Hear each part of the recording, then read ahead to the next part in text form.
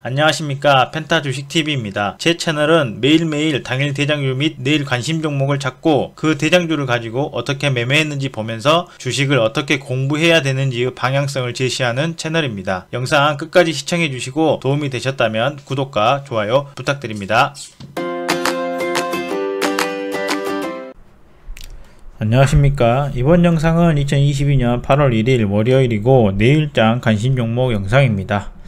우선 지수부터 보시면은 우선 8월장이 시작이 됐어요. 어, 다행히 좋은 모습으로 시작을 했습니다. 어, 거래량도 조금씩은 늘어나고 있는 모습이에요. 그런데 뭐 예전에 비해서는 택도 없죠. 예전에 이 정도였었는데 어쨌든 전체적인 그림은 어, 하방으로 어, 하락장인 건 확실하고 하락을 하더라도 떨어지고 반등 주고 다시 떨어지고 반등 주고 다시 떨어지고 반등 주고 이런 식으로 될 거로 생각되고 지금 위치는 떨어진 상태에서 반등이 나오고 있는 시점이죠. 그래서 여기서는 적극적으로 하기보다는 좀 방어적으로 하고 다시 떨어지기를 기다리는 게 좋을 것 같습니다. 지수는 이렇게 보고 다음에 종목들을 좀 보시면은 오늘 시장 중심주로는 역시나 지난 금요일에 이어서 어 좀 그린 뉴들 쪽 이 태양광 오늘 SDN이랑 S에너지에 좀 돈이 쏠렸고 그 다음에 금요일에 이어서 앞타바이오가 상한가를 갔는데 오늘 어 2천억 터지면서 한 번더 슈팅이 나와준 모습입니다.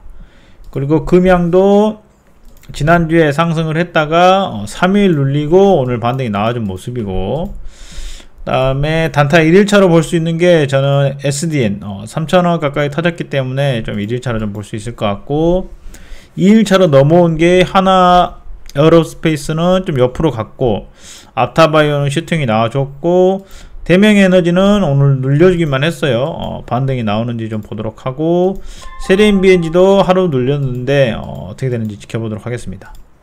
그 다음에 3일차로 접어드는 한화솔루션은 3일 연속으로 올랐기 때문에 반등이 좀 나왔다 볼 수 있을 것 같고 포스코 케미칼도 어제 눌렸다가 오늘 반등이 좀 나와줬고 미래 나네트워크는 어, 이틀 연속 눌렸네요. 하루도 좀 보도록 하고 조일 알루미늄도 하루 쉬었다가 반등.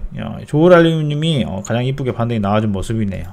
그 다음에 찐대장주 후보를 골라놨던 어, 하나랑 세림이랑 동국 CNC는 다 상승을 안 했기 때문에 어, 대장주가 되지 않았고 그 다음에 대장주 후보로 골라왔던 휴마시스는 좀 떨어지고 있는 중이고 일동작은 반등이 나오, 나오고 나서 지금 다시 떨어지고 있고 비덴트도 살짝씩 떨어지고 있네요. 어, 저는 좀 이 제가 고른 대장주들이 뭐 좀 팍팍 떨어졌으면 좋겠습니다. 그리고 오늘 좀 대장주를 좀 찐대장주 후보를 좀 찾아보면은 거래대금 상위에서 천억까지만 좀 봐보면은 어, 삼성전자는 여전히 6만원 위에 있고 SDN이 어, 3,300원 가까이 터졌기 때문에 대장주 후보로 보도록 하고 앞타바이오는 어, 대장주 후보라고 보기는 어렵고 어, 단타용으로 좀 볼 수 있겠죠. 그 다음에 에코 프로그램 아니고 SD 아니고 이것도 아니고 LG화학 아니고 금양도 어떻게 보면 반등권이라고 좀 볼 수 있을 것 같고. 어, 오늘 여전히 뭐 엄청난 테마는 나오진 않지만 그래도 돈이 쏠린 종목들이 한두 종목 나오기 때문에 단타거리는 다 충분히 나온다고 생각이 됩니다. 어, 여기까지가 천억이네요. 오늘 대장주 후보는 SDN을 좀 볼 수 있을 것 같아요. 어쨌든 8월에도 좀 좋은 장이 계속 됐으면 좋겠지만 그래도 상승을 하더라도 이렇게 연속적인 상승이 아닌 상승했다가 눌렸다가 다시 상승 눌렸다가 상승 이런 모습이기 때문에 어, 계속 상승할 때는 매도를 좀 해주고 눌렸을 때 매수를 하는 전략을 하는 게 좋아 보입니다. 오늘 영상은 여기까지 하겠습니다. 감사합니다. 매일매일 당일 대장 조합, 내일 관심 종목을 알아보는 펜타 주식 TV와 함께 하시죠. 구독과 좋아요 부탁드립니다.